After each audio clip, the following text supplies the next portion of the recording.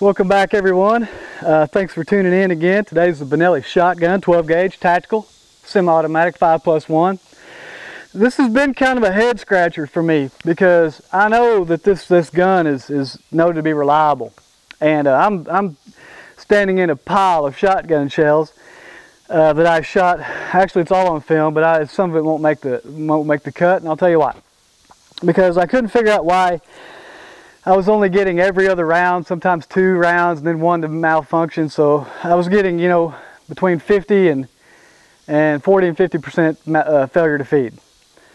And uh, I came out yesterday. I had the same trouble with this shotgun, and my buddy was good enough to loan it to me. It's a real fine. It's not a cheap shotgun. And uh, so I wanted to give this the best showing possible. I wanted to try a bunch of shotgun shells through it just to make sure that it wasn't just inferior shotguns. It wasn't improper technique. And this is what I've come this is the, the conclusion I've come to, and we'll get into that. But first, I want to show you the Winchester Universal. They're one and one eighth ounce loads. It's just seven and a half birdshot with three dram equivalent powder. And that's what I have in here right now.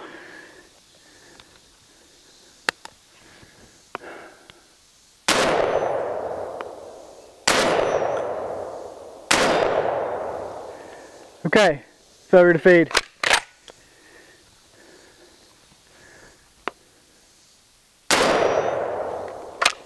Failure to eject.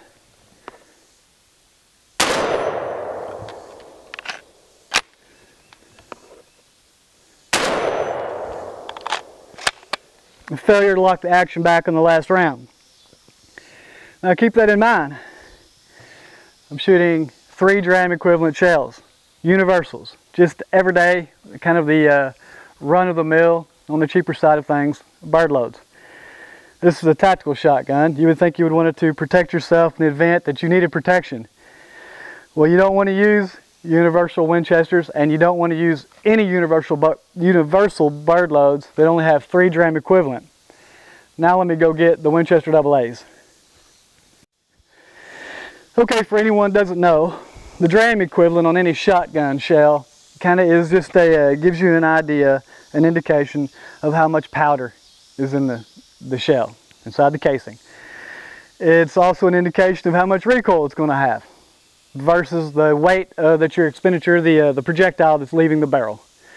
Right now I have one and one eighth ounce load, which is how much the shot weighs coming out of the shell. But now I've upped the dram equivalent going to Winchester double A's or more expensive shotgun shells. The dram equivalent is three and a quarter. So if you think about it, going from three to three and a quarter, that's quite a bit of a, a bit of a step up. I'm chambered.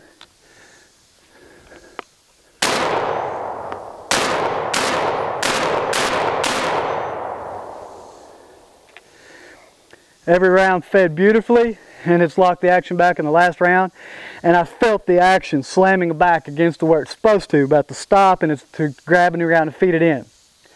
At three and a quarter dram equivalent and one and one eighth ounce loads.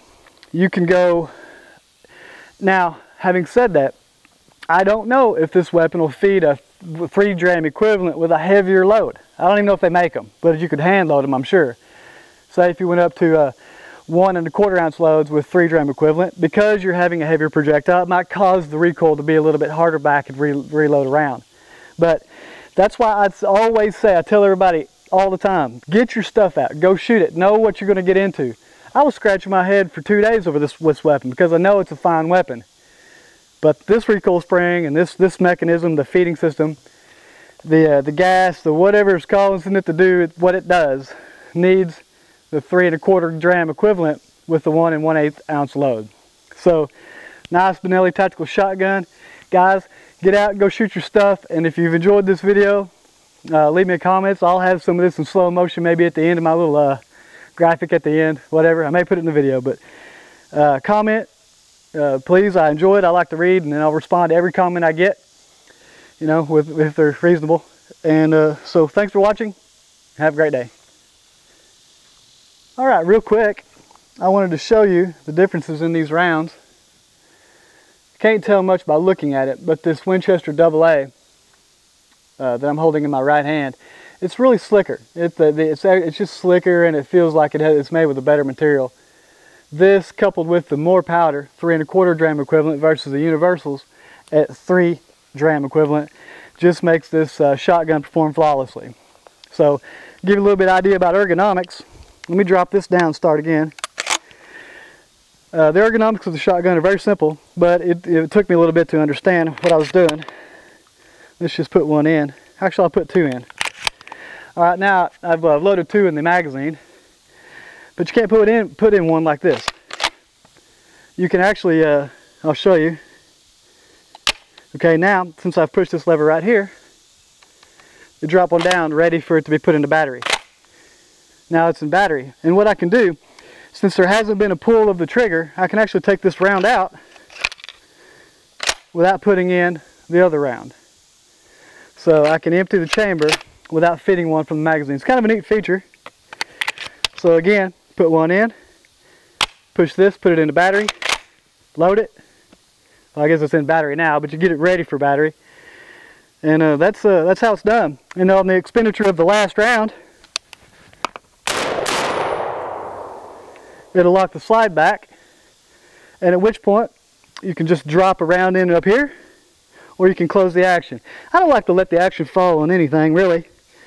So if I was just going to fall this without a round, just pull back on this, push this in, and let that fall forward. But there you go. That's a wrap.